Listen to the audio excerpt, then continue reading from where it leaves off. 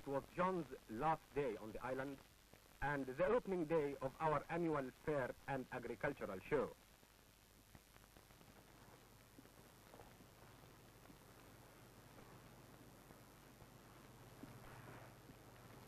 His Highness, our ruler, Sheikh Sir Salman bin Hamad Al Khalifa, was leaving his palace when we got there to motor the 10 miles to Manama where the festivities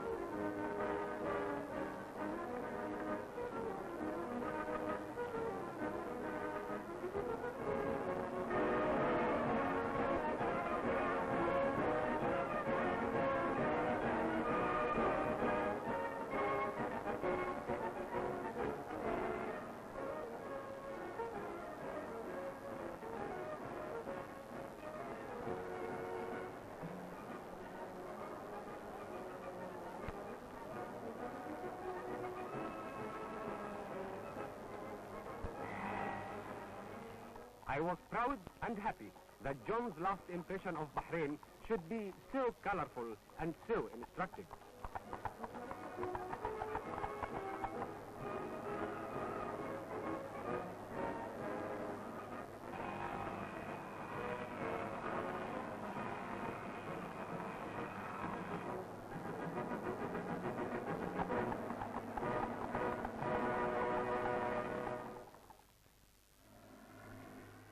It was sad to say goodbye to so good a friend.